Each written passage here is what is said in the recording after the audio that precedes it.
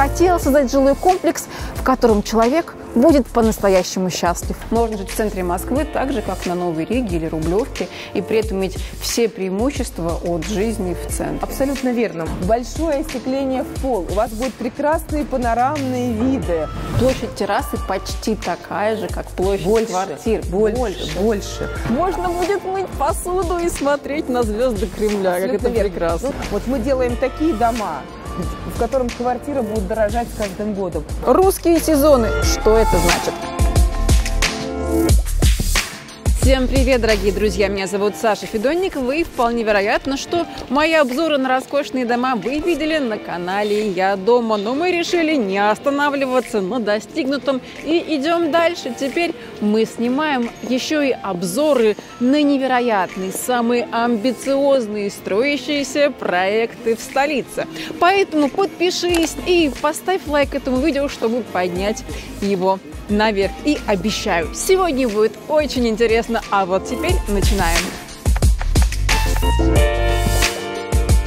Мы находимся в одном из старейших районов Москвы, в Замоскворечье. Я иду по Большой Ордынке. Эта дорога сохранилась аж со времен татаро-монгольского ига.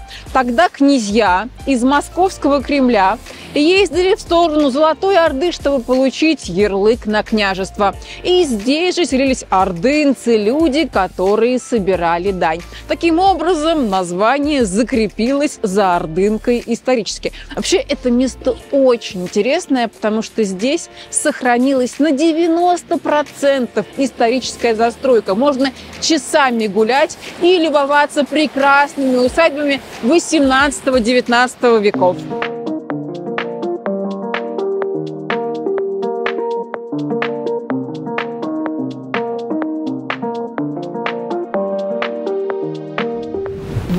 Например, прекрасный образец московского ампира усадьба Долгова-Жемочкина. Ее построил архитектор Бажонов, но из-за войны с Наполеоном усадьба пострадала, и ее восстанавливал уже другой архитектор Баве. Когда-то у этого дома был невероятный сад, площадью 2 гектара. Потом в советское время на его территории построили завод с бараками. Они начали разрушаться, и город продал их с аукциона застройщику СЗ и кран. И сейчас мы как раз видим кран, видим строительные леса, там очень скоро появится новый престижный жилой комплекс элит-класса «Русские сезоны».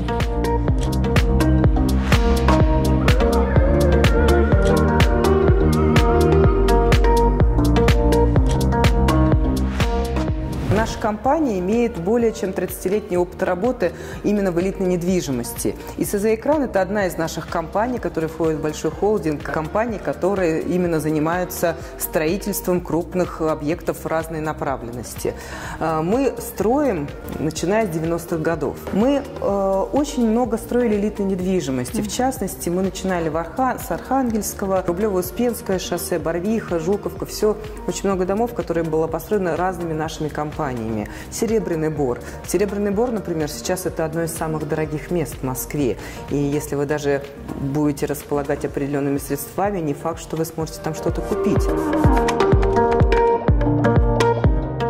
Здесь был когда-то завод «Экран», и, собственно говоря, поэтому и застройщик называется СЗ «Экран», потому что ну, по наследству нам досталось это название. Здесь были такие баряч- барачного вида строения, старые, э, и мы все дома построили с нуля. Это очень важно. То есть нет реконструкции. Здесь все абсолютно новое, современное, и при этом оно в окружении вот таких великолепных памятников. Это, конечно, дорогого стоит.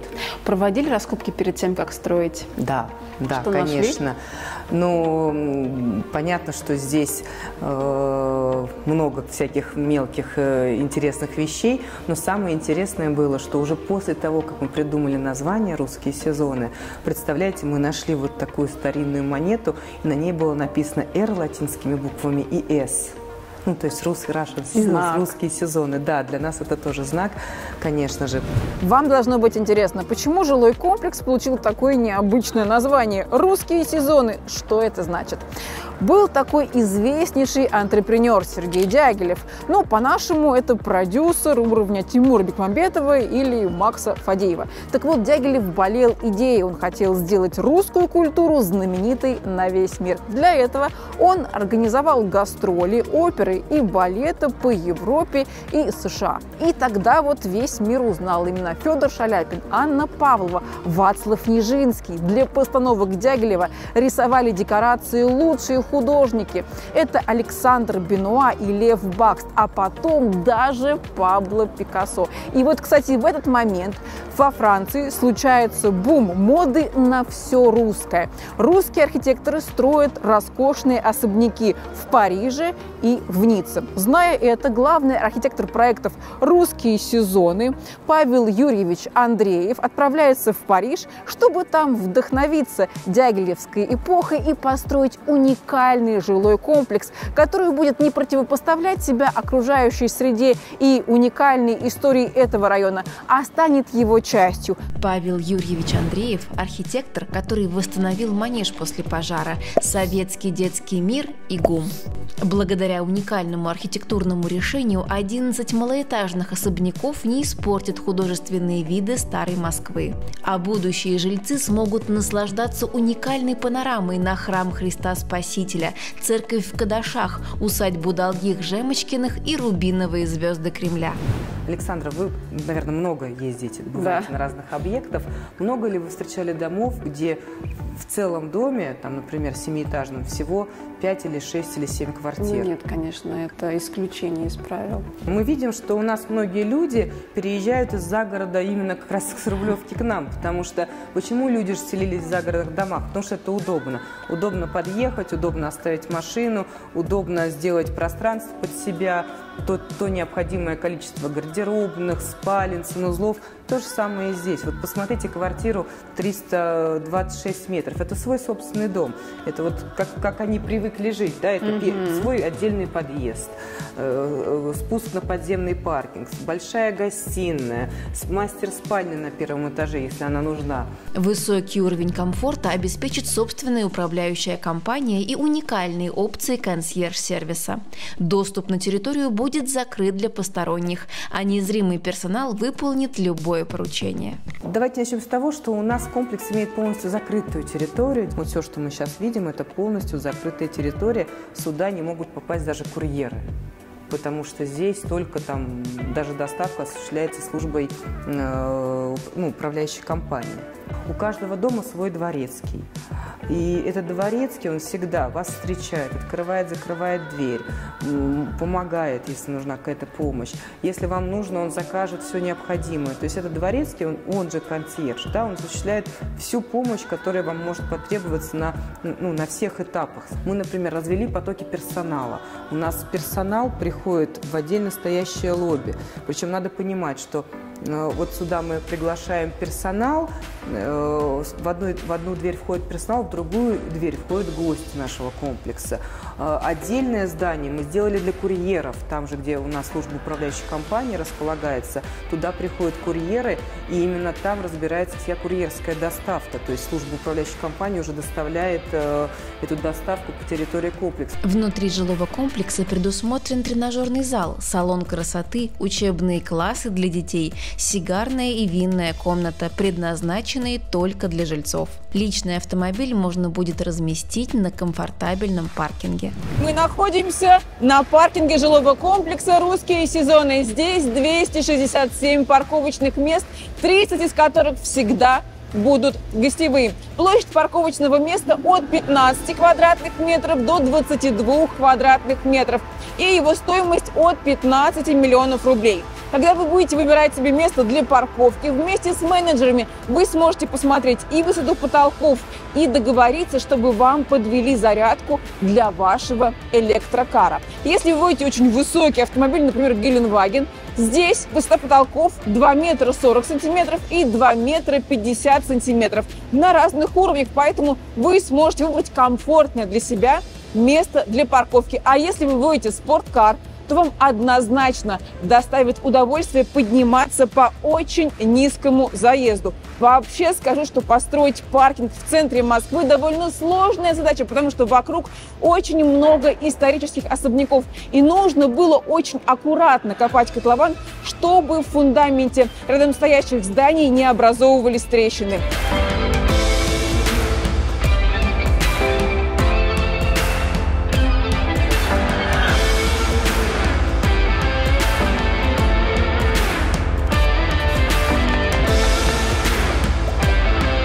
Светлана, но мы пока видим каркасы домов в лесах. На рендерах все выглядит супер привлекательно, но мне очень интересно, какая будет отделка фасада? Отделка фасада натуральным камнем. Камень везется из Португалии. Камень потрясающе такого молочного, бы я сказала, цвета. На самом деле мы, когда выбирали камень, мы очень долго решали, какой камень выбрать. То есть у нас был выбор из иранского, турецкого, дагестанского, вот португальского камня. И мы э, сделали мопы, ну то есть мы сделали вот такие примеры, прям повесили камень, часть камня на фасад и смотрели, как тот или иной камень ведет себя э, при мокрой температуре, при, ну, при сером небе, при ярком свете. И, конечно же, вот то, что мы увидели, что португальскому камню нет аналогов, и мы выбрали этот камень, хотя это не просто в текущих условиях. Мы ездили на, на, эти, на эти карьеры. Вы не представляете, мы сами вот выбирали эти, этот камень. Ну, нам, во-первых, это было интересно, потому что все-таки фасад это одно из, это лицо проекта.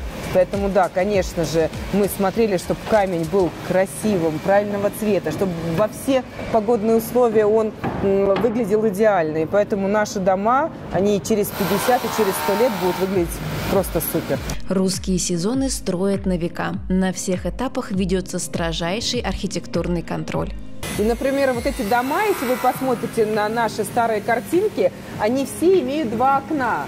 То есть у нас посередине здесь была заложена перегородка. И когда... Это очень красиво снаружи. Но когда дом был уже построен, и мы с одним из наших акционеров поднялись э, вот на этот самый там четвертый, пятый этаж, и э, мы, глядя в окно, видели, что вот эта перегородка, она разбивает вот великолепный вид на церковь Святого Климента, на наш парк. И представляете, уже на этапе, э, когда уже дом готов, мы приняли решение совместно с архитектором переделать вот эти окна. Но это же убрать... дорого, штрафы, неустойки. Это очень дорого, это затягивает, может быть, немножко даже сроки, не, ну, нам, нам, потому что мы все-таки, как застройщик, хотим быстрее все эти дома сдать, да, но мы понимаем, что для нас очень важно ощущение человека, который будет жить вот в этом доме, в этой квартире, в этих квартирах. А теперь, друзья мои, абсолютный эксклюзив. У нас будет возможность заглянуть в уже готовую квартиру в ЖК «Русский сезон». И находится вот за этой прекрасной дверью. Смотрим. И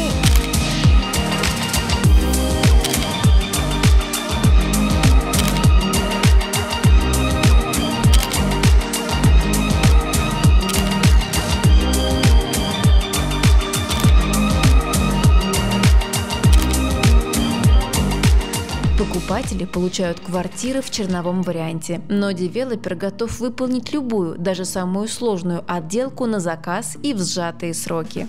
Особого внимания в русских сезонах заслуживают пентхаусы, их всего семь, и каждый носит свое особое имя.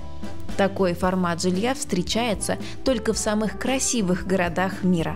Светлана, мы видели пентхаус на чертеже. Давайте сейчас с вами ногами пройдем, что где будет находиться. Да вы смотрите, мы находимся э, в гостиной. Mm-hmm. Вот представьте себе, что здесь стоит большой стол. Прекрасно. Да, э, там дальше кухня. Здесь вы наслаждаетесь видом из гостиной на вот, вот эту красоту. Церковь Святого Климента, я повторюсь, церковь скорбящих радости. Большое остекление в пол. У вас будут прекрасные панорамные виды да, и самое главное, что они невысокие. Ну, вы понимаете, что мы находимся с вами на шестом Мгм. этаже. Мгм. То есть человеку на самом деле Комфортно. доказано, что комфортно жить не выше восьмого Да, этажа. это Я не так. знаю, может быть, вы слышали об этом? Да. И здесь, уже с шестого этажа, мы видим такие потрясающие панорамные красивые виды. Это дорогого стоит, поверьте. И если я правильно понимаю, кухня будет вот там дальше. Кухня будет вот там дальше, да. Можно будет мыть посуду и смотреть на звезды Кремля, как это верно. прекрасно. Ну, на самом деле здесь клиент сам под себя подбирает планировку по нашей Мгм. задумке кухни вот в этой зоне, но не обязательно. Клиент сам будет решать, где у него будет кухня, где у него будет гостиная. Может быть, кто-то захочет спальню сделать с видом на собор Святого Климента, а в сторону корабля он сделает прекрасную гостиную, потому что мы с вами подошли к окну, которое смотрит на Кремль, и здесь можно слышать бой курантов.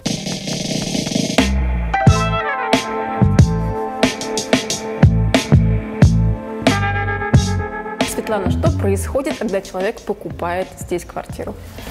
Ну, конечно же, первое, что мы делаем, мы подписываем договор долевого участия. У нас э, очень красиво происходит подписание. Каждому м, покупателю, вот видите, здесь э, э, не все Уже заполнено ключами, места. именно потому что вот эта книга первая, том первый, и каждому покупателю при подписании мы дарим вот такие ключи.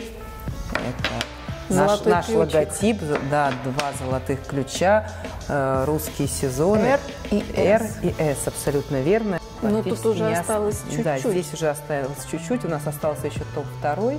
И вот я хотела бы вам еще показать наш замечательный макет. Это «Золотой город», мы его называем. Все дома выполнены из, ну и вообще весь ларец выполнен из драгоценных материалов. И это полностью повторяет э, наши, ну, наш проект. Друзья, я рада вам представить Викторию. Она руководитель отдела продаж агентства «Я дома». Если вам понравился ЖК «Русские сезоны», а я уверена, он вам точно понравился, то обязательно напишите Виктории. Вика, привет. Привет. А, Всем привет. Да, действительно, жилой комплекс, он на самом деле потрясающий. Здесь роскошь выходит э, на новый уровень, и буквально все до мелочей пропитано а, некой эксклюзивностью. А, начиная от а, лобби, заканчивая вот этой вот атмосферой, которая сейчас уже на стадии строительства, которую мы ощущаем в офисе продаж. И если там посвятить некоторые моменты и сравнить, допустим, с а, тем, что было на старте продаж, а, то можно оценить, что на некоторые лоты все-таки цена выросла, и выросла не на мало. Неприятную сторону. Да, ни много ни мало, все-таки произошло там на процентов 47-50. Вот, поэтому, конечно, сейчас все-таки самое время. И следует отметить, что здесь квартиры действительно быстро продаются. Да, и мы наблюдаем, что в жилых комплексах подобного класса все-таки часто лоты, даже когда уже проект э, построен, они часто пустуют, э, либо же видим такую историю, что э, покупают э, достаточно большое количество квартир и затем его по частям продают. Здесь же такой истории мы не видим, а, потому что, во-первых, в жилом комплексе очень мало, в принципе, э, квартир. Вот, и мы видим такую тенденцию, что продается все постепенно, по плану. Супер, спасибо огромное. Спасибо тебе, да.